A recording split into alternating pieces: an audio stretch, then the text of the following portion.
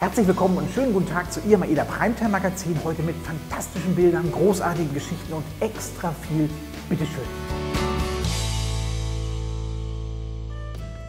Und ganz frisch gerade reingekommen Bilder von unserer ersten Selection-Reise. Aida Kara im hohen Norden. Und es ist wirklich was ganz Besonderes, wenn man das Glück hat, diese fantastischen Polarlichter zu sehen. Gucken Sie mal hier. Das ist der Wahnsinn.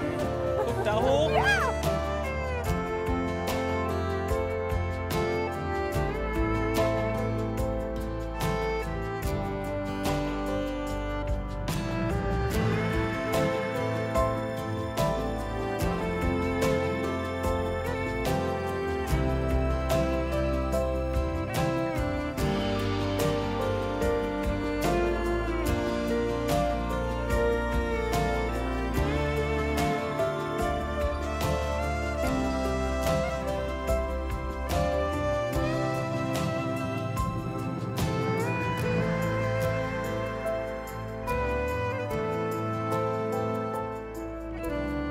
Unsere Gäste sind manchmal wirklich ein ganz kreativer Haufen. Die verabreden sich auf Facebook vor ihrer Reise, treffen sich dann an Bord und dann machen sie Sachen zusammen. Zum Beispiel sie gründen einen Shantychor. Und bitteschön.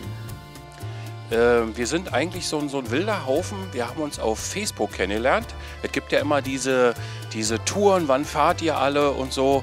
Und äh, naja, in, in so einem Gespräch ist dann halt entstanden, wir planten Treffen. Und das habe ich dann gemacht. Und jetzt stehen wir hier und wollen äh, die Prima rocken. Seid ihr schon aufgeregt? Oh. Ja. Singen ist eigentlich nicht so mein Ding, aber wir wollen heute ein paar Seemannslieder singen. Herzlich willkommen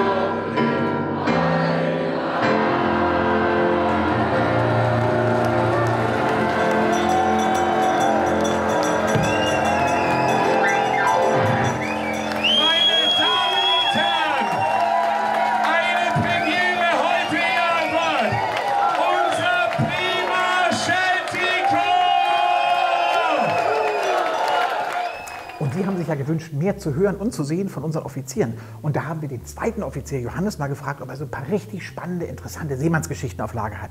Lehnen Sie sich gemütlich zurück und hören Sie zu. Bitteschön.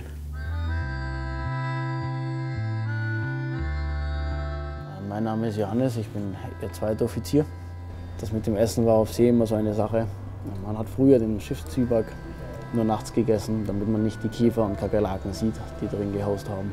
Viel äh, Abwechslung gab es auch nicht, außer dem Schiffszwieback mit den Käfern darin. Äh, gab es kaum Vitamine, kaum Obst oder Gemüse. Und so hatte die Seefahrt Jahre, äh, jahrhundertelang mit äh, der Krankheit Skorbut zu kämpfen, eine Vitamin-C-Mangelerscheinung.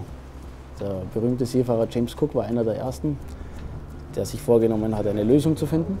Und zwar hat er es mit äh, Sauerkraut versucht damals. Das Sauerkraut äh, ist an sich recht praktisch, hält sich gut, wurde auch in Deutschland den ganzen Winter über gegessen als Vitaminquelle. Den englischen Seeleuten war es auf jeden Fall sehr suspekt. Äh, sie wollten das Zeug nicht so wirklich runterkriegen. Cook hat äh, umgehend darauf reagiert und hat das äh, Sauerkraut wieder vom Speiseplan gestrichen und ist nur in der Offiziersmesse ausgegeben. Hat seinen Offizier natürlich eingetrichtert, das mit großem Appetit und großer Freude zu essen. Was dann so langsam nach und nach den Futterneid der Matrosen angeheizt hat, bis sie es kaum erwarten konnten, als endlich wieder Sauerkraut in die Crewmesse gestellt wurde. Der nächste Schritt äh, war dann äh, die Ausgabe von äh, Zitrusfrüchten wie Limonen oder vor allem Zitronen. Limonen waren ein bisschen billiger, deshalb hat die Royal Navy jahrhundertelang Limonen ausgegeben. Den sauren Geschmack muss man auch erstmal mögen. Da, auch da hat man sich geholfen. Und zwar mit dem Lieblingsgetränk der Seeleute, mit Rum. Mojito, Caipirinha und dergleichen gehen also auf die Behandlung gegen Skorbut zurück. Heutzutage stehen wir in guter Verbindung mit unserer Heimat.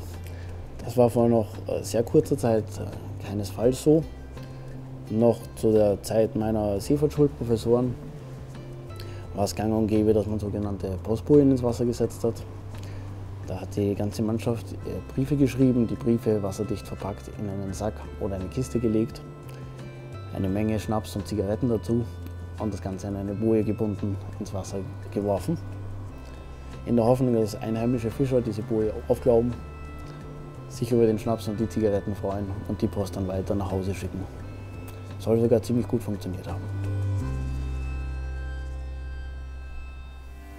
Und wenn auch Sie jetzt so richtig Lust bekommen haben auf Seefahren, dann gehen Sie in Ihr Reisebüro oder gucken Sie auf www.aida.de. Und jetzt kommt für Sie die Verlockung der Woche. Sie haben vorhin die Polarlichter gesehen und genau dahin geht's, hoch in den Norden. Bitte schön.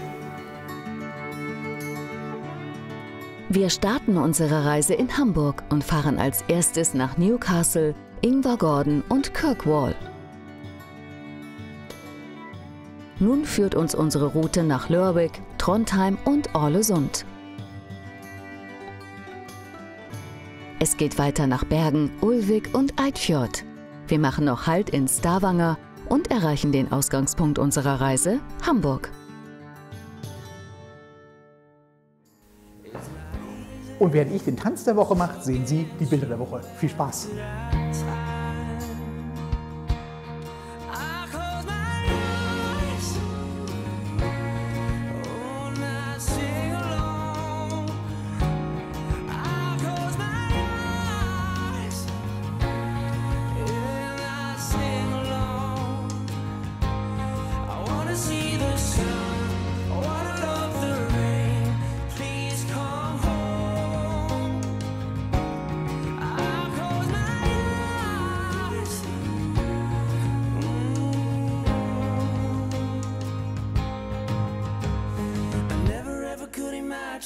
The sun doesn't shine for me.